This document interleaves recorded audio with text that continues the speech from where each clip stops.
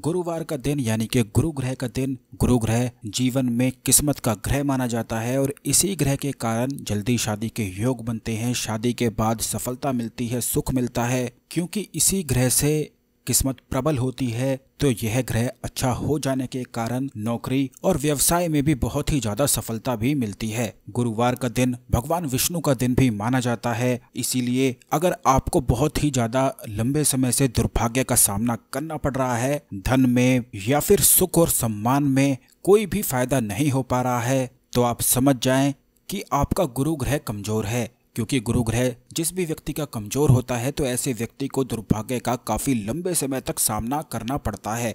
और वहीं दूसरी ओर, अगर गुरु ग्रह अच्छा हो जाए तो इससे किस्मत बहुत ही अच्छी प्रबल हो जाती है। इसी से नौकरी भी लग जाती है, व्यवसाय अच्छा चलने लगता है, और जिन लोगों की शादी नहीं हो पा रही है, उनकी जल्दी शादी के योग बन जाते हैं, क्योंकि बहुत सारे लोगों के जीवन में ऐसी समस्या रहती है कि उन्हें अपने अनुसार अच्छा जीवन साथी नहीं मिल पाता है। और अच्छा जीवन साथी मिल भी जाता है तो शादी के बाद बहुत ही ज़्यादा दिक्कतें आने लग जाती हैं। तो दोस्तों, आज के इस वीडियो में गुरु ग्रह को प्रबल करने के लिए बड़ा ही आसान सा एक टोटका किया जाता है। उसकी विधि को आप समझ लें कि किस प्रकार करना है। सबसे पहले आप इस बात का ध्यान रखें कि इस टोटके को, इस उपाय को करने के लिए आपको एक हल्दी की गांठ को ले लेना है। हल्दी की गांठ को ले लेने के बाद आपको एक पीपल का पत्ता भी लेना है और थोड़ी सी कुमकुम और चावल ले लेने हैं। पत्ते को अच्छी तरह से आपको सुखा लेना है और इस बात का ध्यान रखना है कि जो चावल आप लेंगे, उन चावल को बिल्कुल साबुत ही लेना है। जो टूटे चावल होते हैं, मोगरा वाले होते हैं,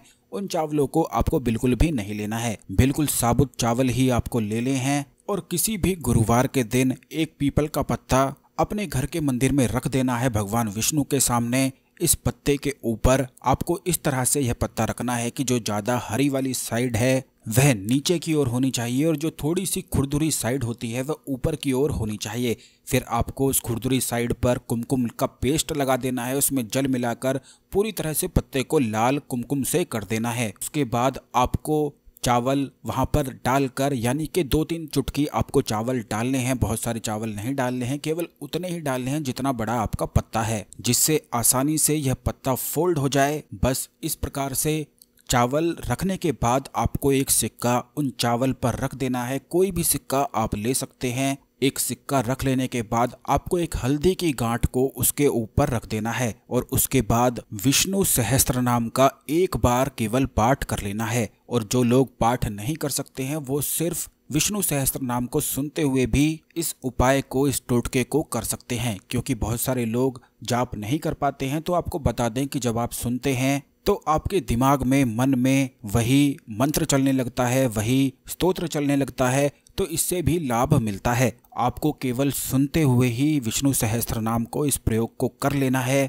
सिर्फ़ एक बार ही सुनना है और यह सभी चीज़ें कर लेने के बाद आपको उस पत्ते को फोल्ड करके पीले धागे से या फिर लाल धागे से बाँध देना है। इस बात का ध्यान रखें कि आप लाल कलावे का इस्तेमाल कर सकते हैं या कोई और पीला धागा भी ले सकते हैं और इस तरह से बांधें कि यह सब चीज़ें टूटे नहीं और आसानी से बंद भी हो जाएँ। और इस बात का ध्यान रखें कि जब आप विष्णु सहस्त्र नाम का पाठ करेंगे या सुनेंगे तो आपको यह जाप करने से पहले अपनी धन से जुड़ी हुई समस्याएँ बोलनी हैं और अगर आपकी जल्दी शादी नहीं हो पाती है, शादी के योग नहीं बन पाते हैं और आप चाहते हैं कि जीवन साथी आपको जल्दी मिले तो आपको लगातार 11 गुरुवार यह प्रयोग को करना है। ऐसा करने से अच्छा जीवन साथी मिल जाता है और अगर आपको नौकरी नहीं मिल पा रही है तो केवल चार गुरुवार करने से ही नौकरी बहुत ही जल्दी लग जाती है, शीघ्र सफलता के योग बन जाते हैं। और अगर आप कोई इच्छा पूर्ति कराना चाहते हैं, इस प्रयोग से आप चाहते हैं कि आपको मनोवांछित फल की प्राप्ति हो, तब आपको 21 गुरुवार इस प्रयोग को करना होता है।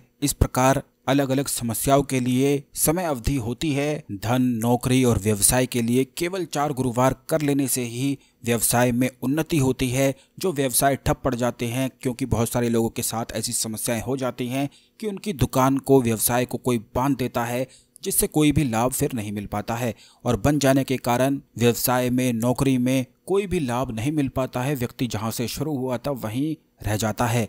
तो आप ये समझ जाएँ कि किसी ने आपको बांधा हुआ है, या व्यवसाय को बाँध दिया है, या नौकरी को बाँध दिया है, ऐसा होने से उस व्यक्ति को बरकत नहीं मिल पाती है, कोई भी सफलता नहीं मिल पाती है, और वह जहाँ से शुरू हुआ होता है, वहीं रुका कर रुका ही रह जाता है। तो आपको इस टोटके को, इस प्रयोग को कर लेना है, जिससे सभी बाधाएँ हट जाएँ गुरु ग्रह प्रबल हो, और आपको किस्मत की प्राप्ति हो जाए। इस बात का ध्यान रखें कि एक दिन रख लेने के बाद यह सभी सामग्री को आपको अगले दिन जाकर किसी भी भगवान विष्णु के मंदिर में, उनके चरणों में इस पत्ते को जो आपने फोल्ड करके धागे से बांधा था, इसको रख के आ जाना है। सिर्फ़ इतना करने मात्र से ही गुरुग्रह प्रबल हो जाता है और लग्जरी वाली चीज़ें जीवन में आकर्षित होने लग जाती हैं। और यह बड़ा ही आसान सा उपाय है जिसे हर कोई कर सकता है। यह किसी भी समय किया जा सकता है और गुरुवार के दिन ही आपको करना है। और अगर आप इसमें कुछ पूछना चाहते हैं तो कमेंट कर सकते हैं। वीडियो को लाइक करके कमेंट बॉक्स में जय श्री हरि विष्णु, जय माता लक्ष्मी लिखना बिल्कुल भी ना भूलें। हर हर महादेव, धन्यवाद।